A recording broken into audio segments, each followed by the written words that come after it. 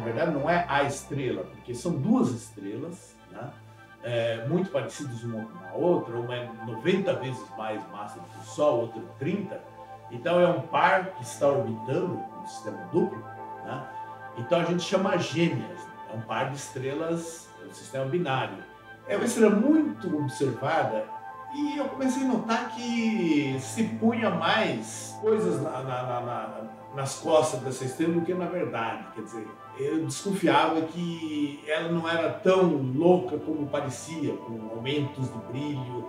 Eu resolvi contar a história dela e comecei a analisar todos os dados existentes.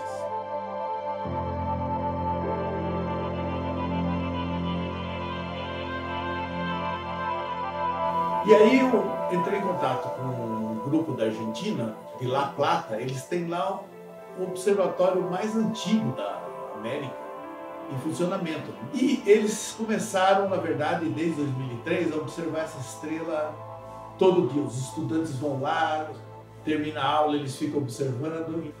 Eles me mandaram 60 mil dados. E desde os anos 1940, o brilho dela vem aumentando.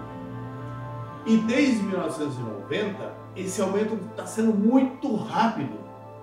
E todo mundo fica assim, na ponta do pé, falando: ela vai agora explodir de vez. Então ela ficou na mira, falar, quem sabe é uma das estrelas dessas que explode, a supernova. Mas não, ela se escondeu, desapareceu, se fechou dentro do casulo de poeira.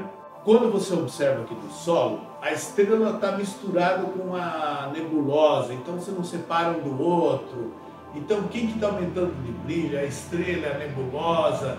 E o telescópio Hubble separa exatamente a estrela da nebulosa. Então, eu peguei as imagens do, do Hubble e notei que a nebulosa não está aumentando de brilho, só a estrela. Imagina que eu sou a estrela e tem uma nuvenzinha aqui na frente, tá? E que essa nuvenzinha está se abrindo, se dissipando.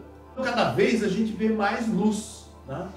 Por isso que só nós estamos vendo a estrela aumentar de brilho, a nebulosa em outras direções, não está vendo isso. Porque na verdade não é a estrela. Daqui a uns 10 anos, não haverá mais essa nuvenzinha na frente. Então a estrela vai parar de aumentar esse brilho. O que vai acontecer é que a estrela vai ficar nua. Então nós vamos poder ver diretamente a estrela.